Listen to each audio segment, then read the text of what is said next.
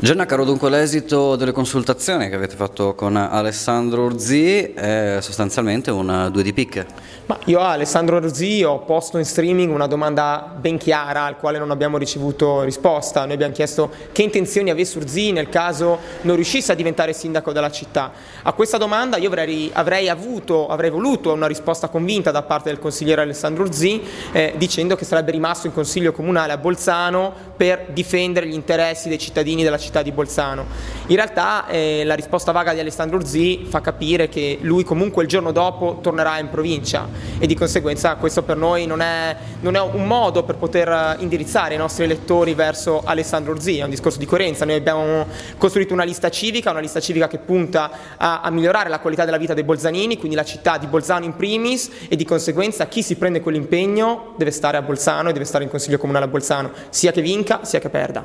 Questo è stato l'unico punto che vi ha fatto dire di no ad Urzi o c'erano altri punti con cui non vi trovavate d'accordo? Ma gli altri punti sono quelli generali per cui noi non possiamo dare l'appoggio né a Urzi né a Spagnoli, che è quello di capire qual è la visione reale di città per i prossimi cinque anni e la visione reale di città per i prossimi cinque anni la si può conoscere soltanto rispetto alle maggioranze che si vogliono andare a formare in Consiglio Comunale il giorno dopo il voto, il giorno dopo il ballottaggio. Cambia molto rispetto ai partner che uno e l'altro intenderanno eh, raccogliere insomma, per, uh, per poter governare la città. Quindi senza programmi su quali basi io devo dare l'appoggio a uno o all'altro candidato?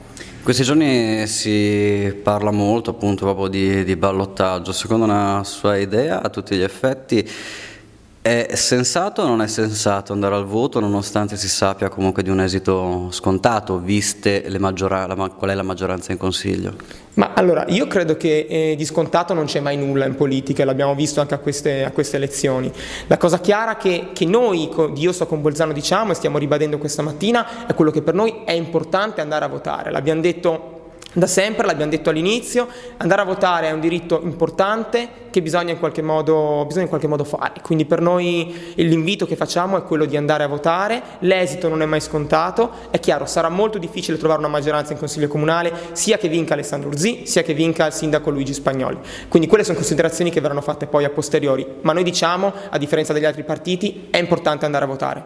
Vincesse Alessandro Urzi, non c'è il rischio di replicare un 2005 con quanto accade con Giovanni Venussi? Ma quello è sicuramente possibile, ma allo stato attuale, anche se dovesse vincere il sindaco Luigi Spagnoli, il risultato potrebbe essere lo stesso. Quindi questo secondo me non è un alibi per dire alle persone di non andare a votare. Le persone hanno il diritto e il dovere di andare a esprimersi il 24 di maggio in, ai seggi elettorali, sperando appunto di non avere poi eh, confusione ai seggi come, come nella precedente volta. Insomma.